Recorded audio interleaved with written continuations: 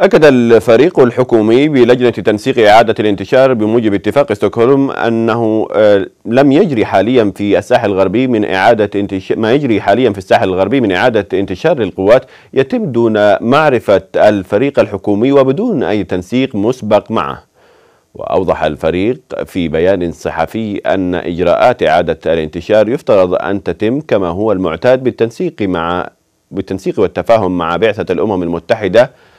في الحديدة عبر الفريق الحكومي والتي لم تكن في الصورة كما أشار الناطق باسم الأمين العام للأمم المتحدة. وقال البيان من المهم التذكير بأن الفريق الحكومي قد علق أعماله منذ عدة أشهر مطالبا بالتحقيق في مقتل أحد ضباطه قنصا من قبل الميليشيات الحوثية في إحدى نقاط الرقابة المشتركة ومطالبا البعثة بنقل مقرها لمواقع محايدة. وأكد البيان أن الفريق قد أشار بشكل مستمر للانتهاكات الحوثية المستمرة لاتفاق ستوكهولم وتعنت الواضح في عرقلة تنفيذه عبر الهجوم المتكرر بالصواريخ والمسيرات والقذائف على المدنيين بالإضافة إلى عرقلة وتقييد عمل بعثة أونمها وغير ذلك من الخروقات والانتهاكات التي نرفعها بشكل مستمر لبعثة الأمم المتحدة.